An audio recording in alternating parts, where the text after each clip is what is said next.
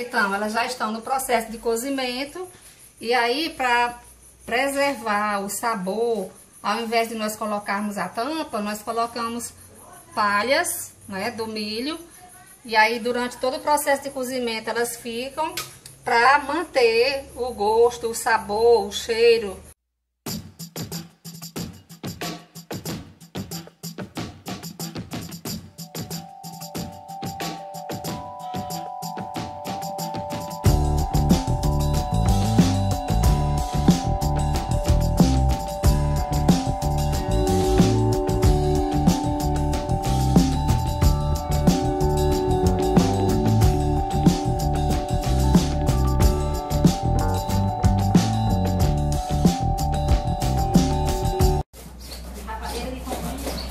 aí galera do nosso canal.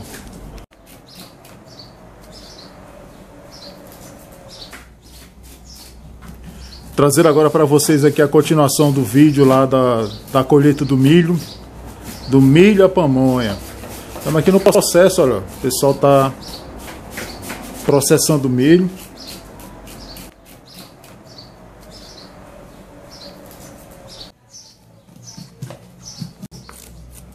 Aqui vai pro liquidificador.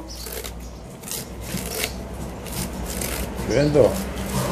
Primeiro com o raspão do milho e depois ele vai para o liquidificador. Antigamente era no ralo. Aí Dona Pretinha falando que antigamente era no ralo. É, eu tenho aí, mas hoje ninguém faz mais não. Já faz é no liquidificador, que é mais fácil. Mais rápido. Vamos para o tempero da pamonha. Essa daí é a matriarca da família Bezerra É, aqui. Depois vamos para o tempero da pamonha.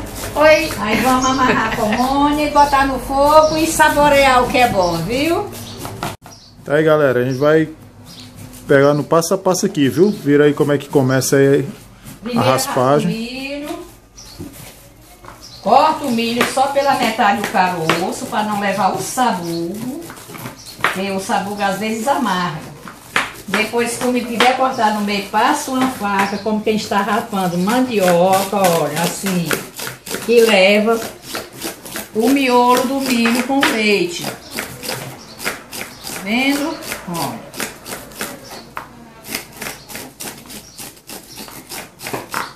O sabugo tem que ficar assim, ó, peludinho, ó, peludinho, porque se levar só o sabugo, amarga. E aí tem anos e anos de experiência, viu galera? Tá aqui a Janice também com a mão na massa. E aí Janice, dá um oi pra galera. Oi, tudo bom? Doutora Maria Carmen também com a mão na massa. Oi! Com a mão na massa, literalmente. Na hora do tempero eu vou mostrar a vocês o que é o tempero, como é que se faz uma pamonha, viu?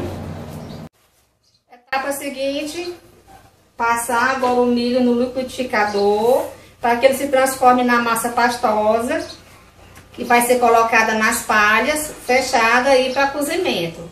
Como é muito milho, obviamente a gente vai passando por etapas, diluindo é, no leite até que ele fique com a- o ponto exato para ir para o forno. E aí isso será mostrado, mostrado posteriormente, ok? Fui! Coloca agora o leite e vai passando devagarzinho até ficar no ponto exato.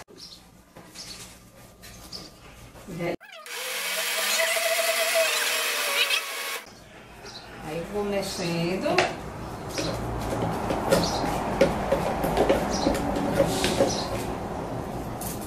Dá mais uma passadinha.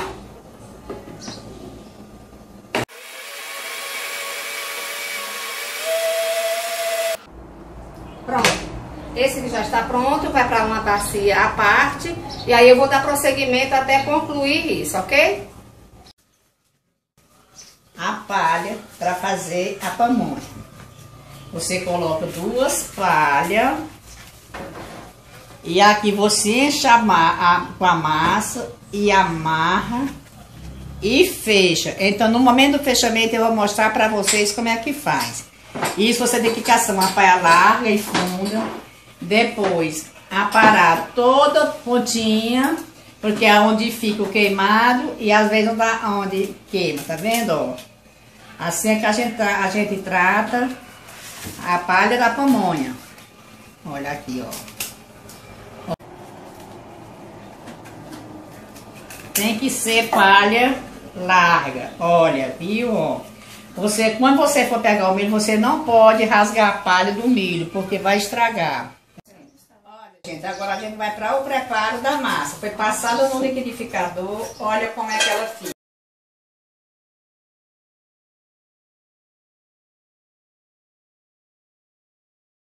Então aqui tem duas bacias, uma para fazer a pamonha com sal e a outra com doce, porque são, são, são gostos diferentes. Então eu já coloquei aqui.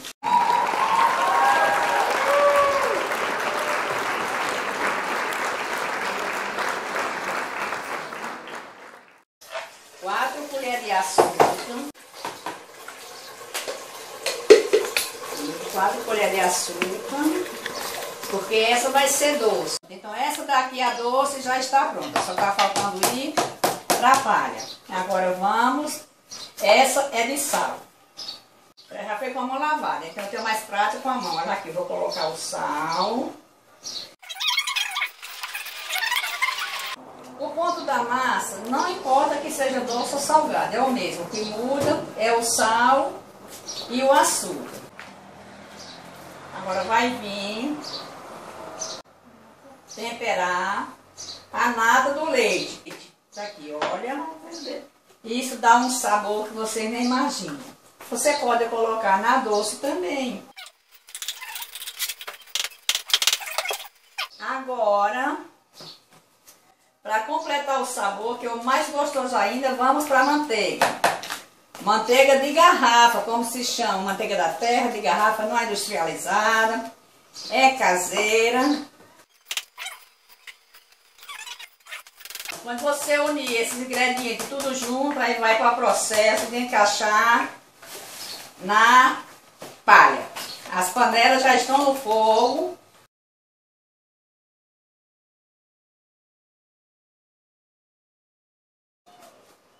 Tá Olha aí, agora a gente vai colocando a massa. Quando a palha é grande, a gente pode colocar, porque... Pronto. Aí o que, que a gente faz? Dobra, faz isso. Agora vamos amarrar. Eu estou amarrando com cordão, cordão virgem.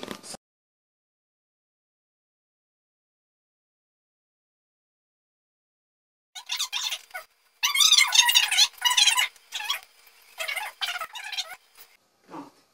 Olha aqui, a primeira já está amarrada. Só não está ainda pronta que não está cozida, viu?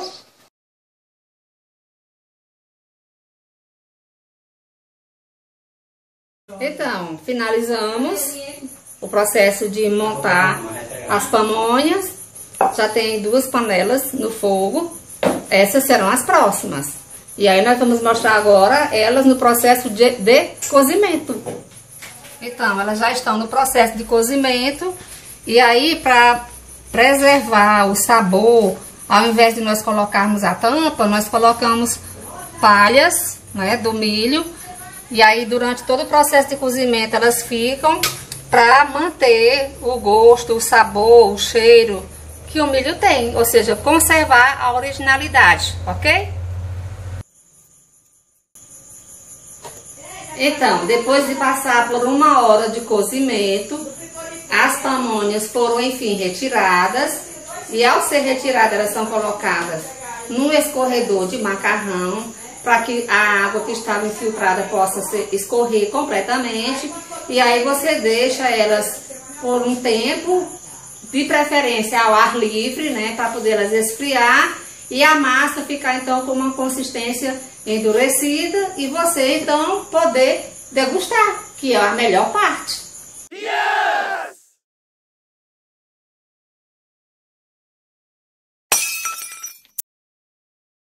E aí você deixa elas fora, elas fora, esfriando por algum tempo, para porque, Não, começa tudo de novo.